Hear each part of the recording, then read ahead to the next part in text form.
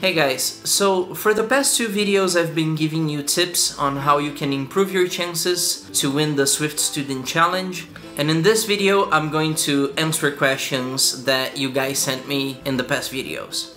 But hey, if you're new around here, my name is Rodolfo. In this channel we talk about iOS development, tech in general, productivity, and everything in between. So if this is something that you're into, please leave a like, subscribe, hit the notification bell so you can get the next videos when I post them. And with that out of the way, let's get to the questions. So Atri asks, do we have to write the personal information in essay format?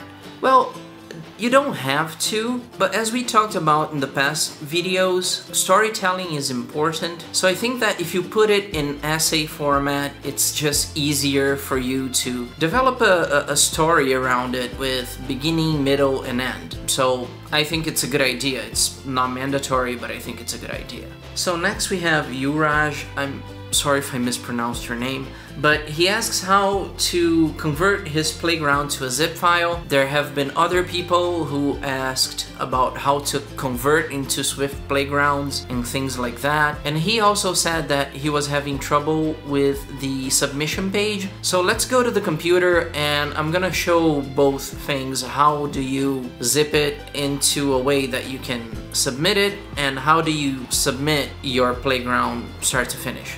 So let's pretend that this is the Xcode playground you did and this is where it's saved. All you need to do is right click, select compress, and that's it. This is the file that you're gonna send to Apple. The same applies if your playground was made with Swift Playgrounds, the app. So you're gonna right click on your playground, showing Finder, it's probably gonna be here on iCloud Drive Playgrounds. So you can copy that somewhere else just for safety. So copy, paste item, and then you're gonna compress the same way. Here you have your zip file to send to Apple. With regards to how do you apply on the website, this is the website. You just click apply now. It's gonna ask for you to log in. You log in.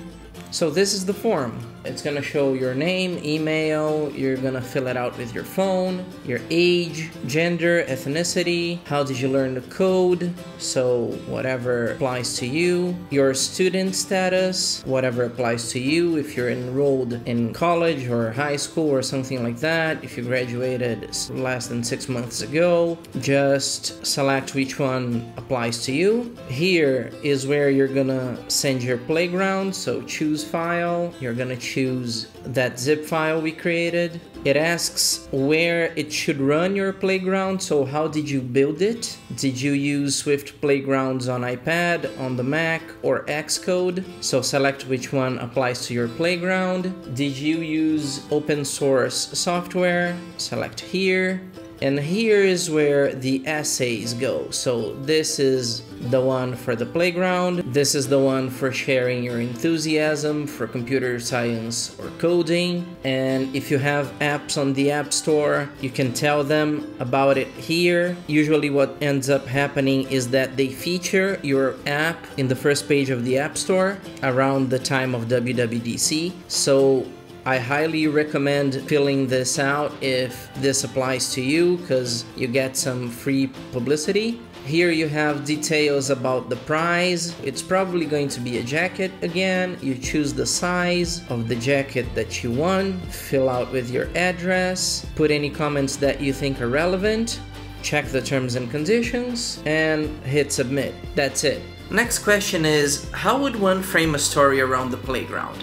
I think that goes together with that thing that I've been saying about picking a theme that is something that you're passionate about. So let me give you a practical example of what I did in my last submission. I'm just fascinated about space travel. So in 2019, when I did my last submission, it was the 60th anniversary of the first moon landing. I had just seen the movie First Man, the movie about Neil Armstrong, and the whole thing about how in the 60s we, we were able to like put a man on the moon is just fascinating to me. So I decided to make a playground about that. My first idea was to make a game that didn't quite work out. Then I tried to make an ARKit scene of the moon landing and it worked as an app but it was breaking on the playgrounds for iPad. It was just crashing and I couldn't find it. I couldn't figure out why. So I said, well, I'm gonna make a children's book uh, telling the story of how this first moon landing happened. An interactive book with images and videos and animations and things like that. And that's the story I told. I said that I was fascinated with space travel and the story of the moon landing and how that made an impression on me since I was a kid and how I thought it was interesting to pass that along to future generations so that children could understand what the moon landing was all about. And then I went on to talk about the technologies I used that because this was a children's book, I felt that it was going to be more interesting to have something hand-drawn on the iPad with the Apple Pencil that looked like something that was for kids and the UIKit animations and all the other stuff that I used in the playground then I talked about that. So that's kind of how I framed the story. You just pick the reason why you chose that theme and what interests you about it and you talk about that and then you talk about how the technologies that you used empowered you to bring your vision to life. Next we have a question about the mailing address. So if you win the challenge Apple is gonna send you the prizes to your address. So he's asking about the mailing address that he should put in there because he's gonna be traveling I would say put your home address. In my case, when I last won, uh, the prize wasn't sent to your home. The prize was the trip to WWDC. So I don't have personal experience with this, but it seems like it works just like a online order, like you bought something and they're gonna ship to your house.